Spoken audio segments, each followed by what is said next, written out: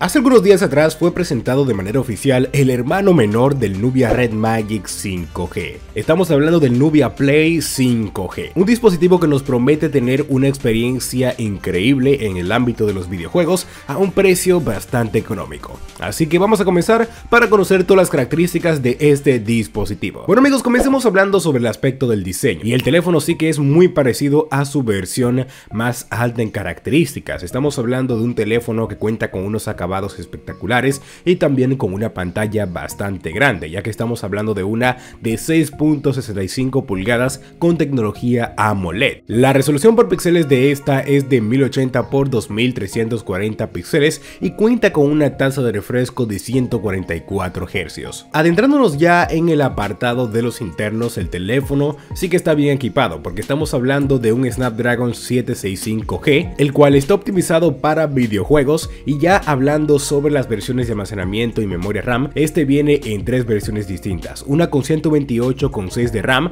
otra con 128 y 8 de RAM y la última es de 256 GB de almacenamiento interno acompañada de 8 de RAM. El teléfono cuenta con una batería bastante grande, estamos hablando de una de 5100 mAh con carga rápida de 30 watts y ya hablando sobre el apartado de las cámaras que sí que me sorprendió bastante, el teléfono cuenta con un sensor principal de 48 megapíxeles con apertura 1.8, un sensor ultra wide de 8 megapíxeles con apertura 2.2, un sensor macro de 2 megapíxeles con apertura 2.4 y por último un sensor de profundidad de 2 megapíxeles con apertura 2.4. También cabe resaltar que esta cámara es capaz de grabar en 4K a 30 o 60 fotogramas por segundo y ya la cámara frontal es de 12 megapíxeles y es capaz de grabar en 1080 a 30 fotogramas por segundo. El teléfono cuenta con lector de huellas dactilares de la pantalla y también cuenta con NFC, pero algo que me decepcionó muchísimo es que no trae el jack de 3.5 milímetros para los auriculares. Un punto que llamó bastante la atención del Nubia Red Magic 5G, o sea la versión más alta características,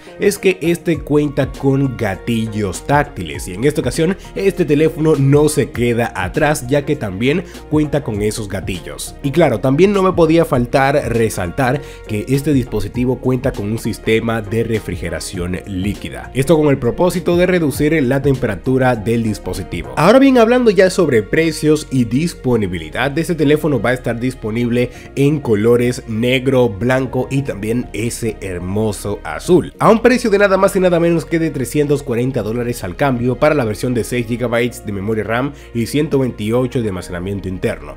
Ya la versión de 8 de RAM y 128 de almacenamiento interno llega a un precio de 380 dólares al cambio estamos hablando de unos 40 dólares más. Y ya la versión más alta en características, que es la de 8 de RAM y 256 de almacenamiento interno, llega a un precio al cambio de 425 dólares. Este teléfono va a estar disponible en primera instancia para el mercado chino y obviamente dentro de unos meses va a estar disponible en otros mercados, ya sea como Latinoamérica y también Europa. Como siempre me gustaría que ustedes comenten aquí debajo qué opinan sobre este dispositivo, el cual sí que está bastante llamativo y económico, así que no te olvides de tu like, comparte y suscríbete en este gran canal ya que semanalmente estamos compartiendo interesantes videos sobre tecnología. Así que nos vemos en una próxima.